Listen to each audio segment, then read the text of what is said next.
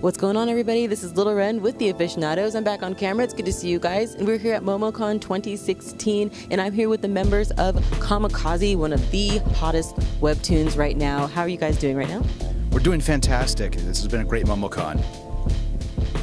Uh, I'm a little tired, but that's because this con is kicking butt, so. yeah, this, uh, uh, to be honest, I am having the time of my life right now at MomoCon, so thank you so much. I love this mic passing. It's like telephone, but it's like what people really want to hear. So, um, I have fallen in love with this webcomic. I love that I can see it every week. You guys have been super consistent from the very beginning, and because you are taking on so many other projects involving Kamikaze, um, I know that you guys have been super busy. So, can you just talk about the comic itself, kind of where it started, like in terms of how you'd have such a diverse cast, where you just got the idea, and what other project you're working on with it? Yeah, sure. So, a little bit of background uh, Kamikaze is a Dust Bowl cyberpunk uh, webcomic. We update every Wednesday. We've been running for a little bit under two years. Uh, we started off as an animated TV series concept, and we're really strong believers in diversity and representation in media. Uh, our, our, main character, Markesia, is a woman of color, and uh, it's something where we decided to choose her as our protagonist because it's not someone you get to see in. Um, in that kind of role very often, especially in sci-fi. And we really wanted to make sure that we were, uh, you know, being, you know, truthful and honest about, you know, what a future world could be, and uh, and really, yeah, go from there.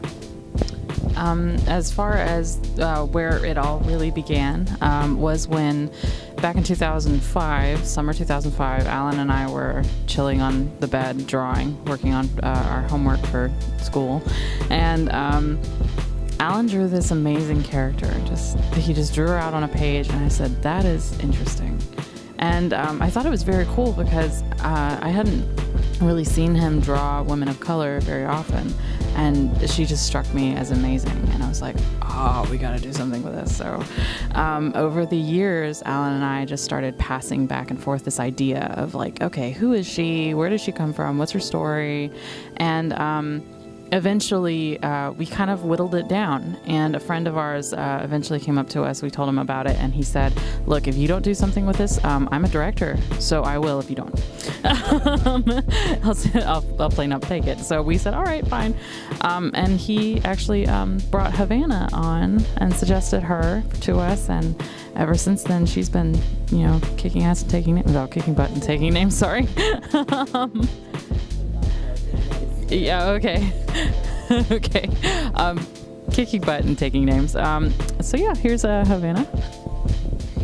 Yeah, I joined back in uh, 2012, and uh, uh, unlike the unlike my colleagues here, I don't have an art degree, but I've always had a passion for animation, for comics, and uh, it's it's a really cool creative outlet for me, at least. And I, I, just love Kamikaze as a story, as a character.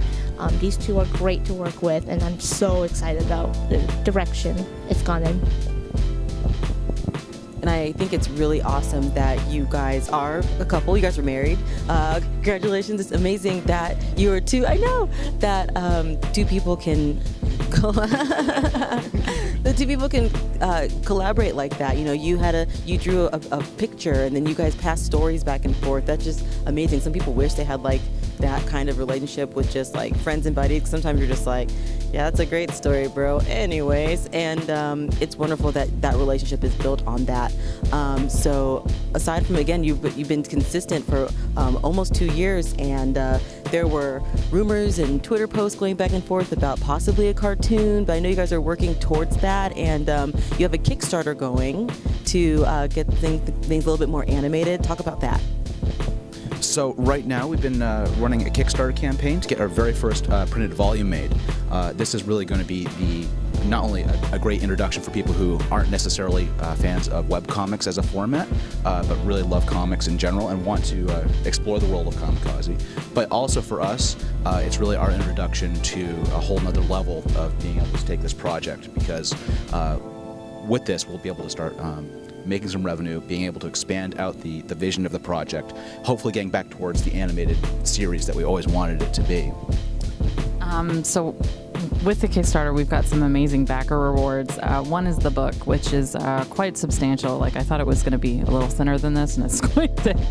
Um, we, yeah, there's so much of it. I mean, look through it. So it's. Um, so right now the comic itself has over um, 137 pages of full color. Each page for us takes about 75 hours between the three of us to create, and um, this is a story that we've been working on for a very long time a friend of ours, uh, Dan Jolly, who wrote the video game Dying Light, actually did the introduction for us. Um, he also um, helped us out with a side, small side project. So one of our other uh, stretch goals is actually getting his uh, version of the Kamikaze. He did a little Kamikaze comic for us, like a one shot, and it was wonderful. And we really want to get that printed so it can have development art and his script in it, so it's an, an educational tool as well as an entertainment. You know, um, the rest of our book is going to have uh, world development in it as well as uh, development art that no one's seen before. So you get to see some of the really original iterations of what um, our lead character Markasia and Kamikaze looked like.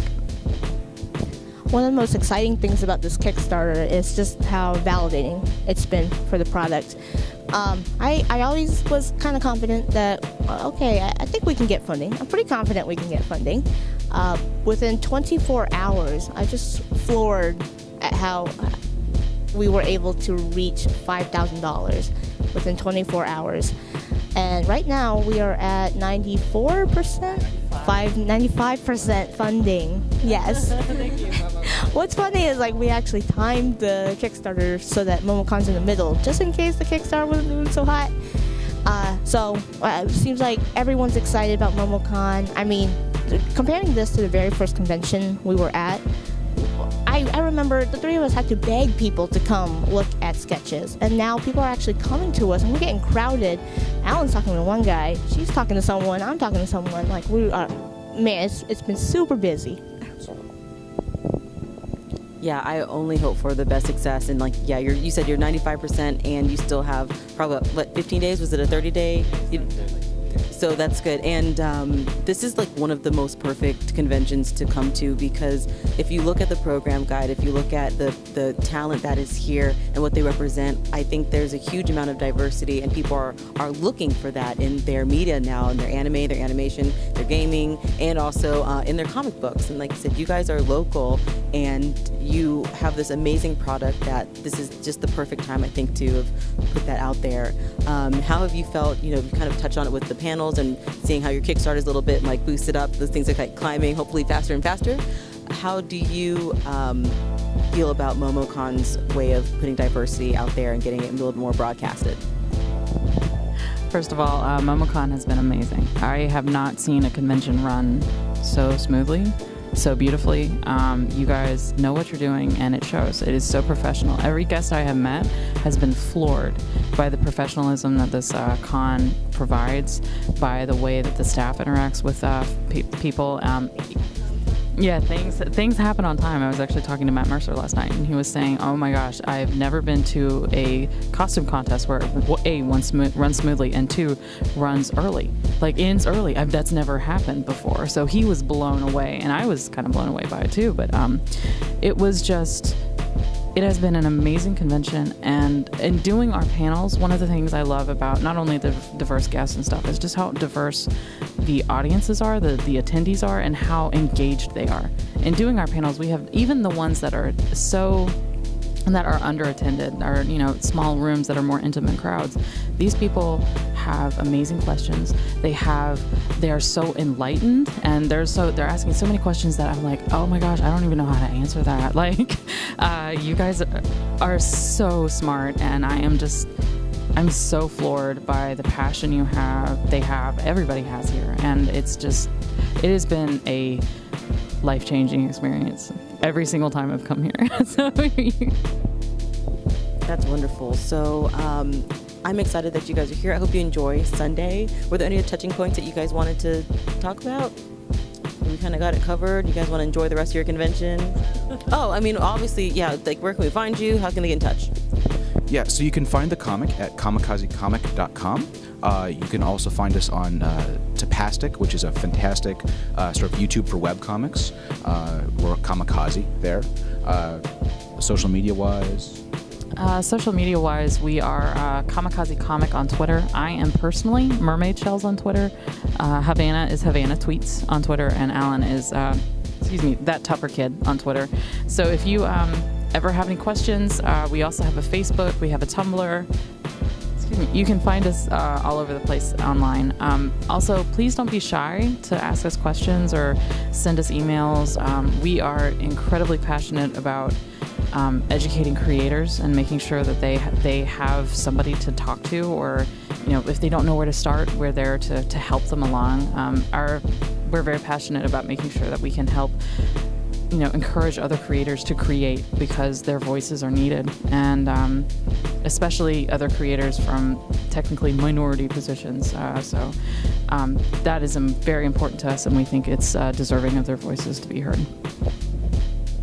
Thank you guys so much. Yeah, you've done wonderful. Like I said, I enjoy the comic because I do love seeing that main character and all the other characters that are there. They're quirky, they're fun, they're very real, and you would expect then in a uh, post-apocalyptic post-apocalyptic society there would be a lot more people who are mixed of different colors, and you're like kind of giving it like the actual look it should have. So um, I appreciate that. Guys, go check them out. Seriously, it's a really great read. You have a lot to go through if you've just started. Like I said, it's been weekly for about two years. So get that started, put down that manga, pick up that American animation, uh, that American comic online, and support these guys locally. We're always saying support the craft, and these guys' craft is phenomenal. So on behalf of uh, you know Kamikaze crew and everybody here at MomoCon, it was great talking to you guys. We will see you soon. This is Little Wren. I'm out. I